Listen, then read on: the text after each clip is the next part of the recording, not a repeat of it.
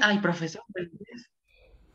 Eh, nosotros somos el equipo 3 y vamos a presentar ópticas y mediaciones. Este equipo está conformado por Brenda Yasmín Ángeles Galdames, Daniela Hernández Amperio, que soy quien escuchan, Jessica Daniela Magaña Sánchez y Sheila Abigail Miranda Temblador. La que sigue, por favor.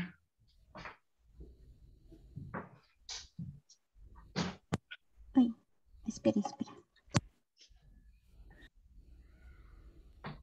Yo les hablaré de las ópticas para estudiar la televisión e iniciaremos con los criterios para analizar la televisión. Cassetti y Dichio, que fueron los autores del libro que les muestro a un lado, identifican una serie de orientaciones para el análisis de la TV, delimitadas por prioridad. Retomaremos cada una de ellas brevemente para determinar el tipo de análisis que se intenta realizar sobre las mediaciones televisivas. La que sigue, por favor. La orientación 1 es la carácter, el, perdón, el carácter central del medio. Privilegia las características del medio. En esta convicción, el medio es el punto central. La que sigue, por favor. Orientación 2. Carácter central del texto. Esta es la idea de que el contenido, la forma y los diferentes modos en que funciona un mensaje constituyen la clave principal de acceso al fenómeno televisivo, el elemento que es el protagonismo, perdón, el protagonista en la escena es el texto. Este puede estudiarse a partir de analizar su contenido, su ideología predominante, sus códigos, entre otros. La que sigue, por favor. La orientación 3 es el carácter central del telespectador. Perdón. Considera al espectador como el elemento determinante porque sus características sociodemográficas, tales como el sexo, clase, raza, entre otros, le imponen diferentes modalidades de descodificación de los mensajes televisivos según sus fines y necesidades. La que sigue. Orientación 4. Carácter central del contexto. Es la idea de que la estructura y el contexto social constituyen el factor decisivo en la, en la comunicación televisiva. La que sigue. En este mismo eh, punto menciona tres teorías importantes, que uno de ellos es que los mensajes solo adquieren sentidos y pasan a través de actividades de mediación social. Esto haciendo referencia a la teoría de los líderes de opinión y la de los escalones de la comunicación. También eh, que la televisión debe asumir imperativos funcionales necesarios para conservar el sistema social. Esto viene de la teoría estructural funcionalista. Y finalmente que el impacto del medio se explica en medios de procesos culturales activados, es decir, con estudios culturales. La que sigue, por favor. La orientación 5, aquí se le da carácter central a la recepción. Se considera la recepción como el momento determinante. Está entendida no solo como un acto de procesos de codificación y decodificación entre el texto y el espectador, es decir, lo que ve y nosotros que lo recibimos. También como una situación en cuanto a contexto de relación ligada a, dinámicas típicamente familiares, ya sea como reunirnos a ver la tele con la familia o con los amigos. Em, en medio de las que se realiza una interacción comunicativa. La que sigue, por favor. El tema 5.2 son los criterios para explorar la televidencia. Orozco Gómez Guillermo en televisión y audiencias, un enfoque cualitativo, distingue dos tipos de criterios, generales y comunicacionales. Hablemos primero de los generales. La audiencia es un conjunto de agentes activos, su interacción con la televisión, si bien no se encuentra determinada, sí está condicionada y mediada de diversas maneras. Estos aportarían, o sea, estos criterios generales, aportarían una primera diferenciación de la audiencia, la cual permite explorar las coordenadas dentro de las cuales se realizan los procesos específicos de interacción con el medio. ¿La que sigue? Los criterios comunicacionales son complementarios a los anteriores y permiten mirar de cerca las particulares interacciones comunicativas de los miembros de la audiencia. Tiene que ver un poco menos con condiciones estructurales y mucho más con elementos de la cultura y situaciones del mismo proceso de comunicación. ¿La que sigue? Estos, a su vez, nos sirven para, como ejes analíticos para explicar el proceso de ver. La que sigue, por favor. Estos ejes analíticos son el primero es la construcción de estrategias de recepción por parte de los miembros de la audiencia. Es explorar las estrategias televisivas, perdón, explorar las estrategias televisivas permite observar la manera en que los miembros de la audiencia se enfrentan a los medios, a sus mensajes y a sus rutinas audiovisuales, su vinculación con su tiempo libre y con su agenda cotidiana. La que sigue. Los, eh, el juego de la mediación, que ya lo escuchamos hace un ratito, o la manera en que distintas mediaciones configuran particulares televidencias. El estudio de las mediaciones nos permite conocer influencias particulares que intervienen en los procesos de televidencia y la peculiar manera en que se estructuran las apropiaciones. La que sigue, por favor. Los super temas, esos eh, los tocarán un poco más a fondo, pero en general son temas que inquietan a la audiencia y filtran lo que les parece importante y es lo que, lo que les parece importante de lo que es transmitido en pantalla. Su estudio posibilita un acercamiento a aquello que los preocupa y les interesa a los miembros de nuestra audiencia. Lo que sigue, por favor. Eh, las comunidades de apropiación a las que pertenece y por las que transcurre su producción comunicativa. Explorar dichas comunidades de significación permite acceder a los sentidos socioculturales en juego en la producción comunicativa. Y bueno, ahora estamos en las estrategias televisivas de la audiencia, eh, las prácticas comunicativas en las que se inserta la interacción con la televisión y sus mensajes se desarrolla a lo largo de escenarios socioculturales específicos y se traducen en lo que Orozco denomina estrategias televisivas. Estas implican los siguientes elementos. Horarios de interacción con la televisión o un género especial, los intereses del sujeto, sus preferencias, sus maneras de interactuar con los distintos mensajes y los modos concretos de uso que le da a dichos mensajes. La que sigue. Estas estrategias involucran dos niveles de interacción que tocaremos brevemente. El primero es normativo y el segundo es pragmático. A nivel normativo, los miembros de la audiencia combinan ideales con sus propias autopercepciones de su papel como teleaudiencia y tienden a interactuar con la televisión con referencia a un deber ser o un ser ideal que incide en la selección, el disfrute y obviamente la apropiación del mensaje. A nivel pragmático, las estrategias de recepción se pueden observar en las condiciones situacionales y en las acciones que aparentemente espontáneas de los modos de interactuar con la televisión. Aunado a estas interacciones, en las estrategias televisivas hay varios tipos de decisión involucradas. Las decisiones de tipo estético, informativo, emotivo, funcional y las pertinentes eh, relacionadas con la satisfacción de necesidades cognitivas y afectivas concretas del televidente. por favor. La exploración, bueno, en resumen, la exploración de las estrategias de la audiencia es entonces uno de los objetivos más importantes para entender cómo y por qué se interactúa con la televisión de ciertas maneras. En la interacción con la televisión, la teleaudiencia no es una entidad monolítica ni un sujeto pasivo. Más bien, en dicha interacción hay mucha creatividad, aunque no se sea consciente. Una estrategia televisiva debe entenderse como una concretización de la agenda, perdón, de la agencia del sujeto en relación con la TV. Ok, bueno, eh, sí me escuchan, ¿verdad? Espero que sí. sí. Eh, ok, eh, las mediaciones múltiples. Como ya mencionó mi compañera, Orozco, en la televidencia de Orozco, se entiende por mediaciones a las instancias estructurantes de la interacción de los miembros de la audiencia que configuran particularmente la negociación que realizan con los mensajes que se influyen en los resultados del proceso. Eh, tenemos que entender que estas mediaciones del espectador televisión eh, provienen de distintas fuentes. Una de estas fuentes es el mismo sujeto, quien es consciente de que es miembro de una cultura y de que está situado históricamente en un ámbito sociopolítico también provienen de otras identidades como lo son el género, la edad, la raza, etc. Y, e incluso estas, estas fuentes también pueden provenir del mismo medio de comunicación y de, del que trate este. O sea, ya sea que este medio sea de un género programático o de un sistema comunicativo. Otra de las mediaciones eh, que pueden influir son las mediaciones de las instituciones sociales, como son las escuelas, el trabajo, la familia, la religión, los amigos, pareja, entre otros. Y por último, otra de las, de las mediaciones más importantes es la de la cultura y la subcultura de la que la audiencia forma parte.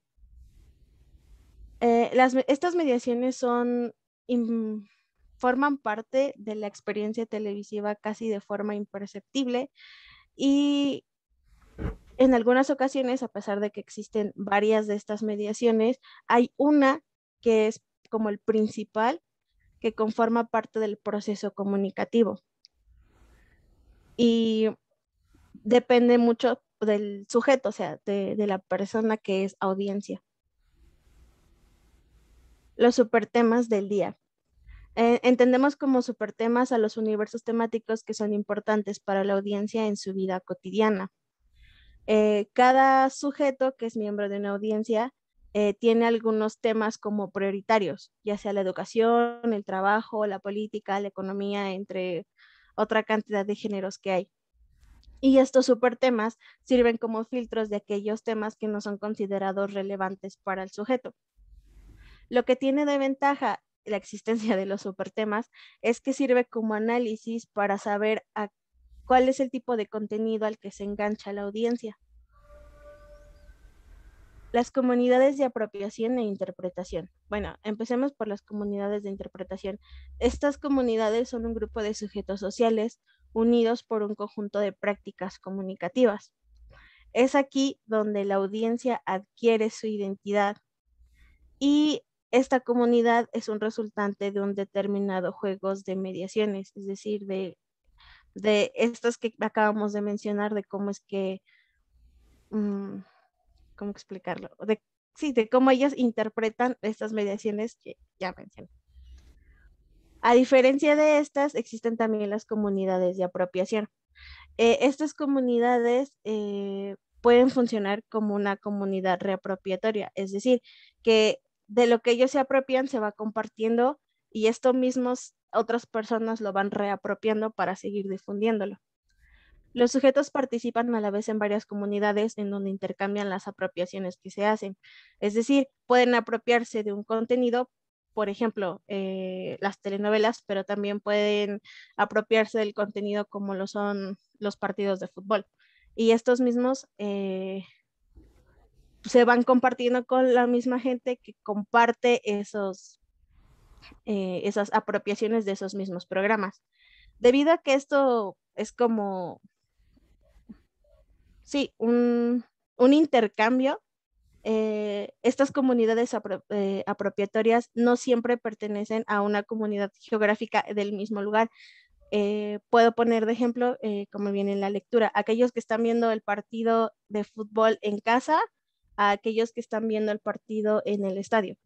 No pertenecen al mismo lugar geográficamente, pero están al mismo tiempo compartiendo lo que están viendo, que es en este caso el partido de fútbol. Eh, y por último, bueno, los supertemas, eh, quienes que forman parte de la vida cotidiana del sujeto son producto de las comunidades de apropiación, pues es aquí donde ellos se generan.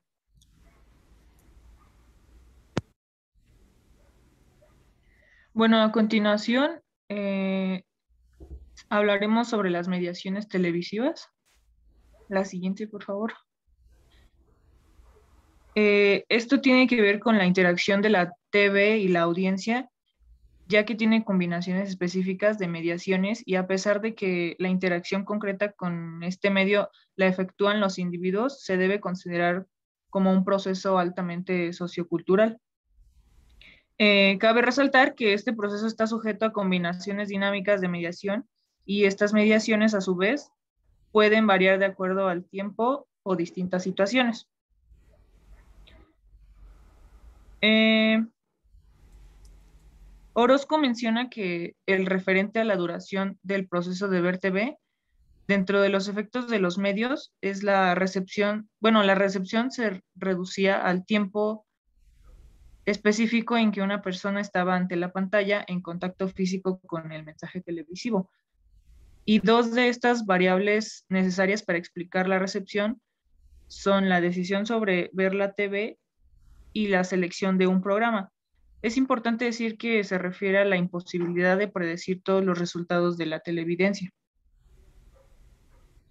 La siguiente, por favor. Eh, se explican dos sentidos.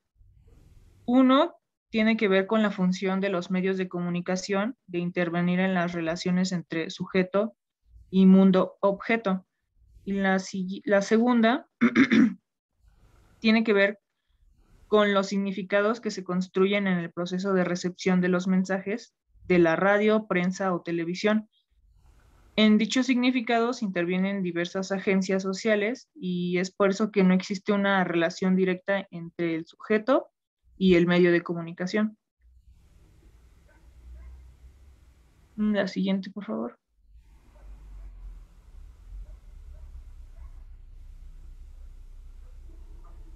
Eh, de acuerdo a la mediación, se refiere al acto de juntar dos partes a través de la intervención de una tercera con el propósito de generar alguna forma de vínculo para comunicar un mensaje.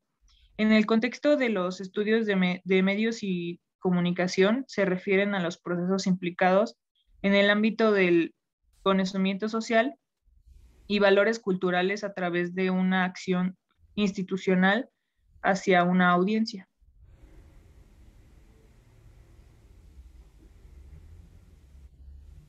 La centralidad de la televisión en la vida pública y privada representa para la mayoría de las personas una fuente primaria de noticias, de información y de entretenimiento. Pues este medio permite a los individuos darse cuenta de fenómenos que se encuentran fuera de su experiencia inmediata cotidiana.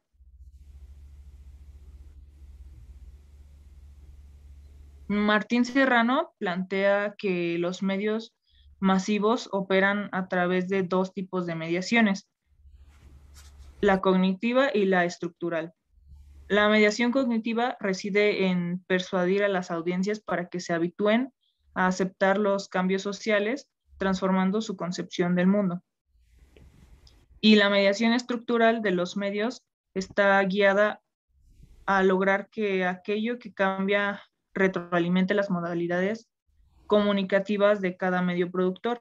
En conclusión, pues los medios masivos tienen que ofrecer a las audiencias modelos de representación del mundo de acuerdo a los valores sociales establecidos y asegurar la producción seriada de estos modelos. Por su parte, Martín Barbero define al concepto de mediación como aquella instancia cultural desde donde se confiere sentido al proceso de comunicación, proveniente de lugares donde se desarrollan las prácticas cotidianas que estructuran los usos sociales de la comunicación, la cotidianidad familiar y que es una especie de estructura incrustada en las prácticas sociales de los sujetos, en su identidad cultural y en la producción diaria de cultura.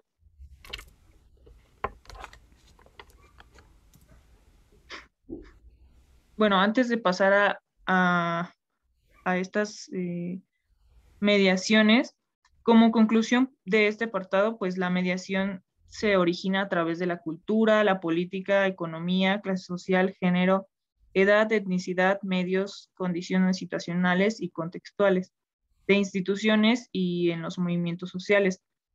También se origina en la mente del sujeto, en sus emociones y en sus experiencias. Cada una de estas instancias es fuente de mediaciones y puede también mediar otras fuentes. Em, ya para integrar la mediación múltiple que conforma la interacción de la TV audiencia, Orozco recomienda cuatro tipos de mediaciones, todas ellas arraigadas por la cultura, que sería la individual, situacional, institucional y tecnológica, las que se desarrollan a continuación.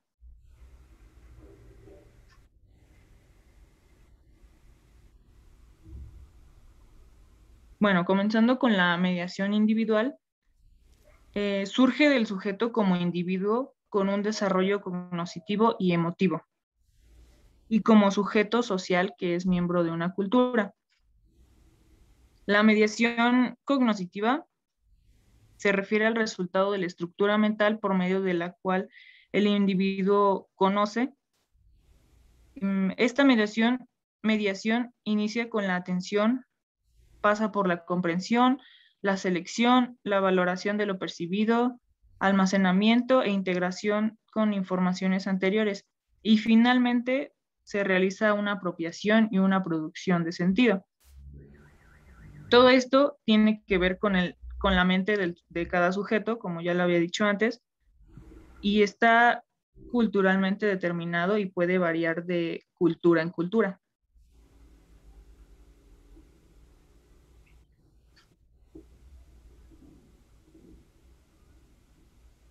Bueno, se mencionan los siguientes eh, de acuerdo... No, perdón. Por otra parte, en el proceso de la televidencia juegan una serie de referentes que, constituyen en que se constituyen en mediación. Se mencionan los siguientes, de acuerdo al género, edad, cultura, etnicidad y origen social. El género del sujeto sugiere que hay diferencias en la manera en la que hombres y mujeres seleccionan y prestan atención.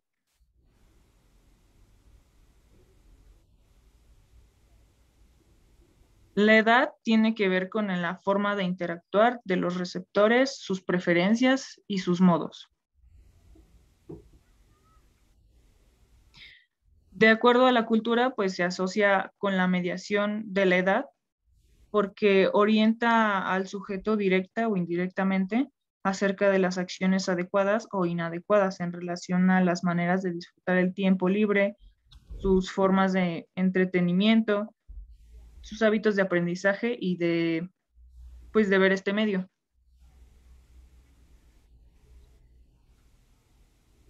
En cuanto a la etnicidad, permite estudiar el papel de la identidad étnica en la interacción social de diversos segmentos de la audiencia.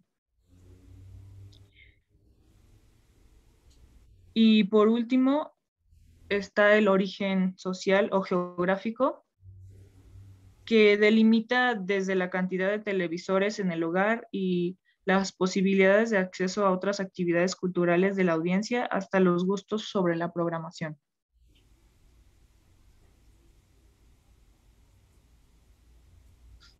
Bueno, yo les hablaré sobre mediación situacional. La mediación situacional se refiere a los diferentes escenarios en los que se desarrolla la interacción entre televisión y audiencia. La relación familia, hogar y televisión es uno de los escenarios que abarcan más posibilidades y limitaciones para el proceso de recepción televisiva. Tanto a nivel espacial, esto quiere decir que el lugar o el espacio donde se encuentra físicamente la televisión, así como también a nivel de interacción posible de la audiencia, que es la relación entre familia, amigos, pareja, etcétera, o simplemente la recepción individual. Algunos elementos que constituyen la mediación situacionales al ver la televisión son los siguientes. Eh, siguiente, por favor. La atención y la distracción. Esto quiere decir que en algunos momentos o ratos la TV logra absorber al televidente con su atención. También eh, este tiene la capacidad de hacer simultáneamente otras actividades, siendo así que la atención fija en la que sucede en la pantalla no es necesaria para después eh, la comprensión o la asimilación de lo que se estaba viendo o percibiendo en ese momento. La distracción también conforma parte de ver la televisión, porque no hay, en todo momento nosotros tenemos toda la atención fija en lo que se está viendo. Hay momentos en los que nos distraemos o pasa cualquier situación a nuestro alrededor que hace que exista esta distracción. Eh, siguiente, por favor. Eh, soledad o compañía. La compañía puede implicar la posibilidad eh, de una apropiación más comentada de la programación eh, y profundizar o interactuar sobre lo que se vio y ampliar la perspectiva que uno puede tener. Pero cuando la televisión se ve sin compañía, no se tiene acceso inmediato a la sanción del otro, de lo que se está viendo. Esto, en pocas palabras, no hay una interacción crítica o comentario de lo que se percibió en el momento. Eh, siguiente. Los límites físicos del espacio donde se ve la televisión. Esto quiere decir que el lugar que ocupa el televisor hace posible ciertos tipos de interacción directa o impide otros. Un ejemplo de ello es, por ejemplo, nosotros tenemos en la sala, en una habitación principal, el televisor. Y aunque uno de, los integrantes de la familia no, no quiera ver el televisor, eh, no puede escapar de la pantalla. ¿Por qué? Porque a pesar de que no ponga atención o no preste la suficiente atención eh, a la pantalla o esté su mirada fija en ella, al percibir sonidos o lo que está sucediendo, eh, está dentro de lo que se percibe como en una actividad cotidiana al ver la televisión. Siguiente, por favor. el antes, el durante y el después.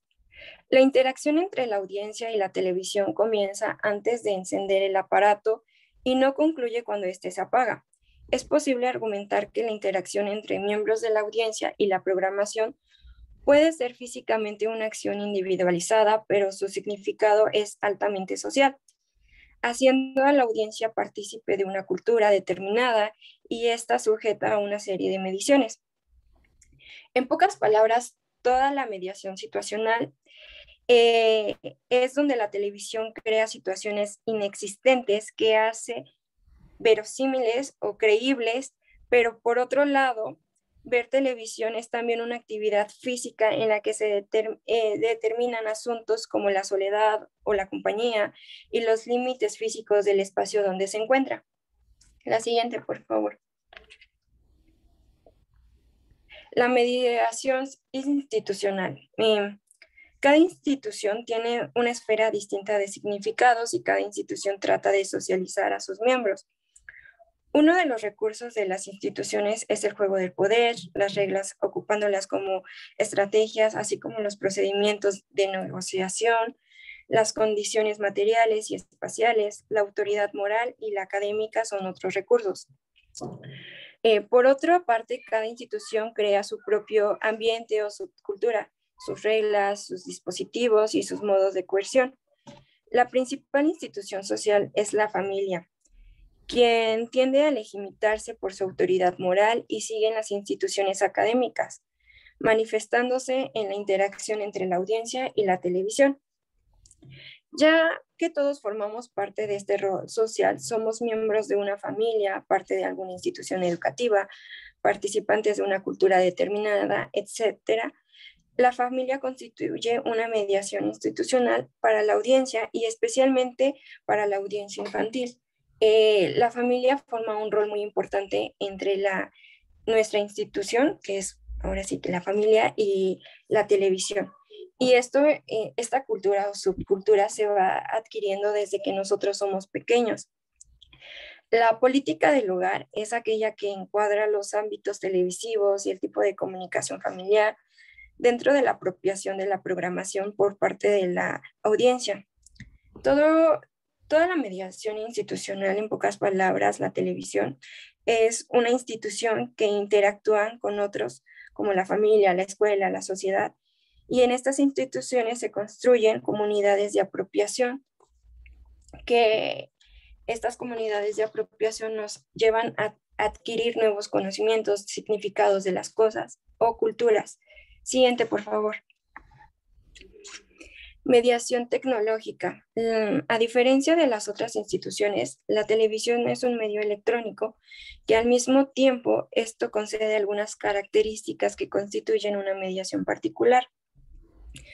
La televisión da una serie de recursos videotecnológicos para hacer valer significaciones ante el sujeto receptor.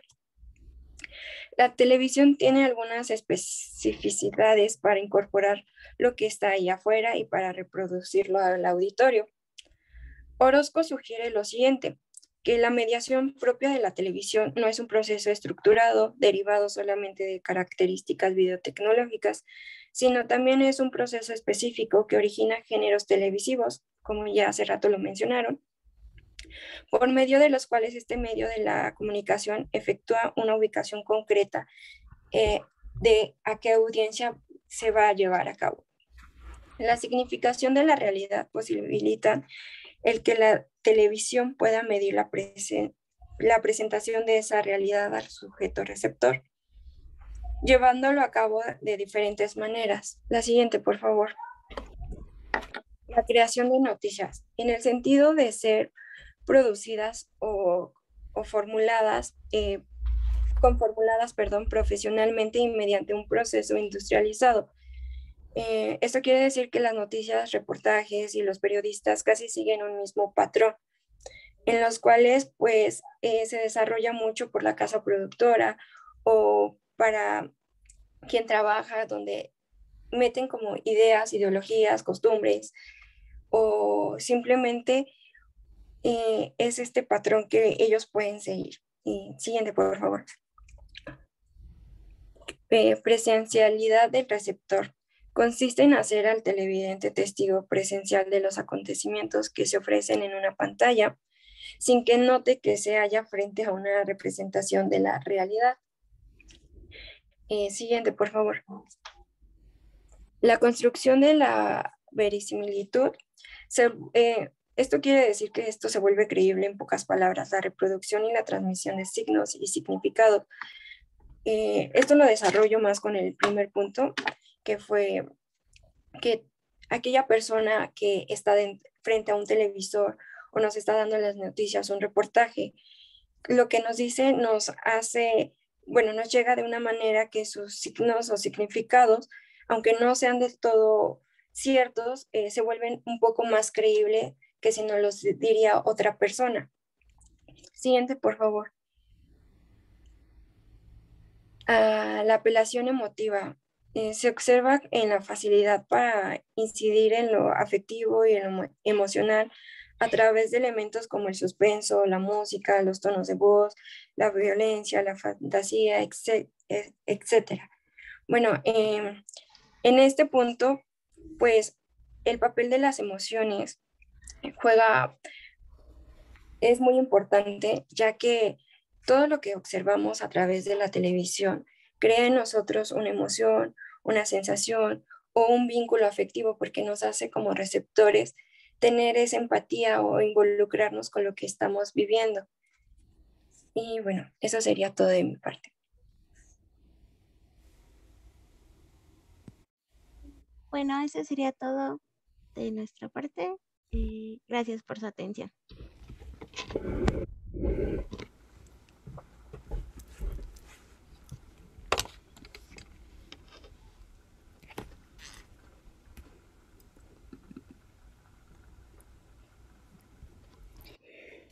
Bueno, este es así como uno de los capítulos más interesantes del libro de, Sandy Rodríguez.